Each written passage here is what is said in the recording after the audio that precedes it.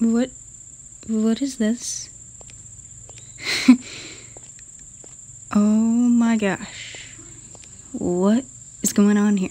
I've seen many things like this, but two wolves chasing a bird, or is it the bird chasing the wolf?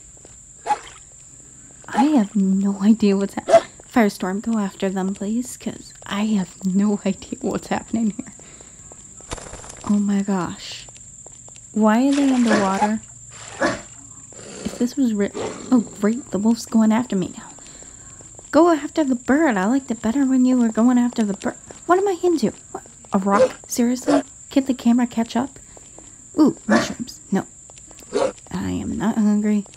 All I want to do right now is just get away from these wolves. What is happening here? Like, seriously, I I didn't even I don't even know what that was. so, this game, Fox Simulator, has this, I guess, feature on it where all the other wolves also hunt. It can be very useful at times when you're very hungry and suddenly you just follow a wolf to a bird or something. But I've never seen something like this. Uh, did I get away from them? Uh, what's that sound? Oh, great. Just get away from a wolf. I am getting chased by pig. Great.